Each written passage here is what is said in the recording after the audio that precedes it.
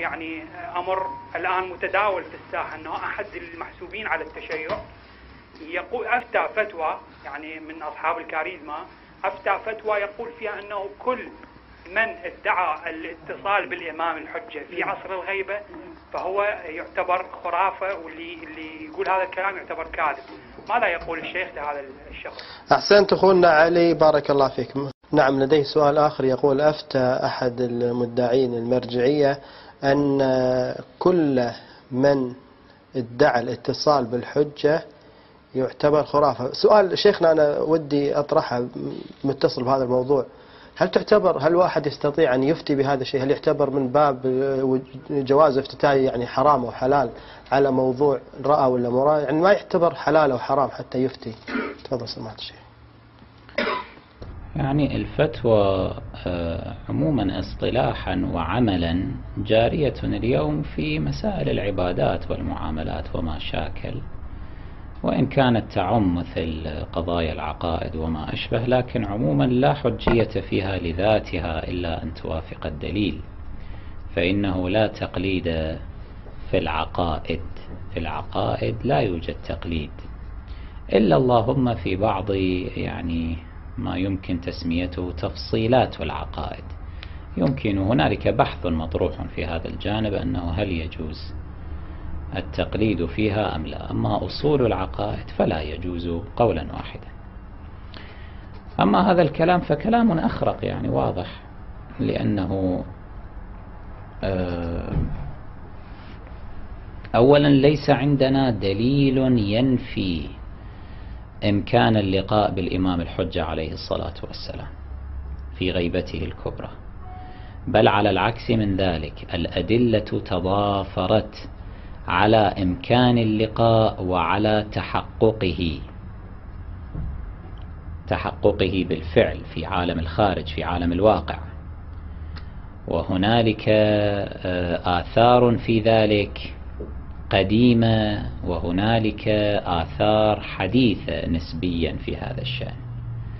فعلى الذي يزعم أنه لا يمكن اللقاء به أن يعرض الدليل على ذلك ولا أحسبه يمكنه أن يقدم دليلا إلا التوقيع الشريف الذي فيه ما مضمونه ألا فمن ادعى المشاهدة قبل ظهور السفياني والصيحة فكذبوه مضمون العبارة الشريفة.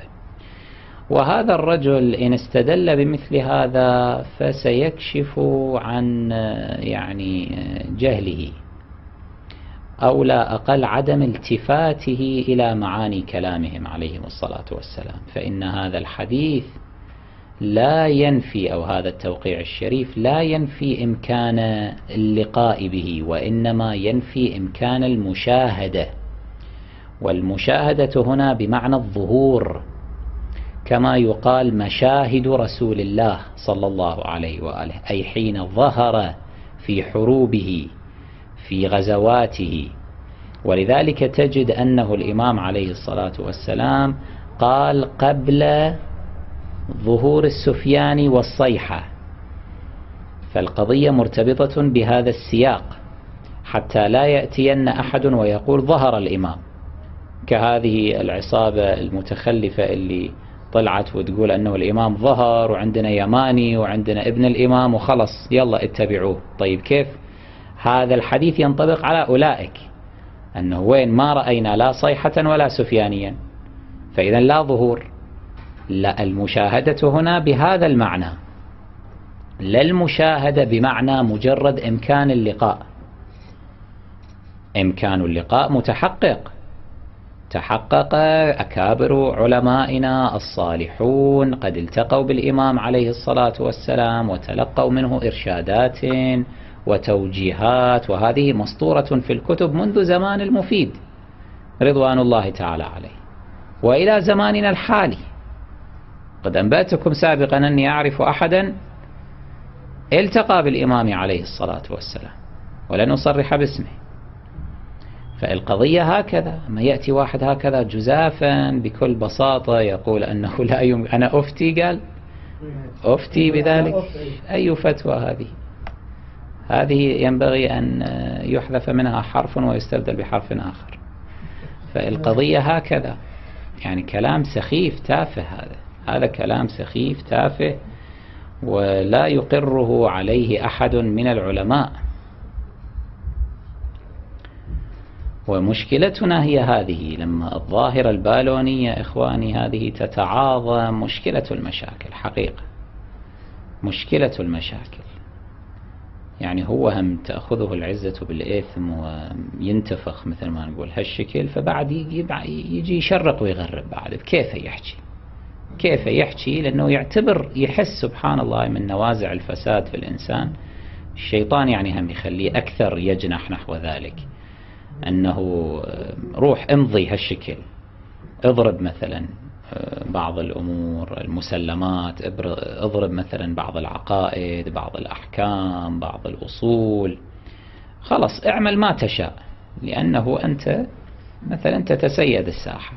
هذه هم حالة العجب والغرور. نعوذ بالله إذا تملكت الإنسان فيضل ويضل أيضا. مو فقط هو يضل يضل الناس. فهذا كلام آه، عموما لا دليل عليه لا ليس هنالك دليل على النفي بل الأدلة تضافرت على الإمكان وعلى تحققه فعلا وثبوته. وهذا هذا شأن العلماء إخواني. يعني لا, لا تجعلوا أي واحد يتصنع صورة العلماء والمجتهدين ويفرض نفسه ويتكلم ومن ثم الناس تنساق إليه. لا حققوا جيدا تعرفون إن شاء الله تعالى.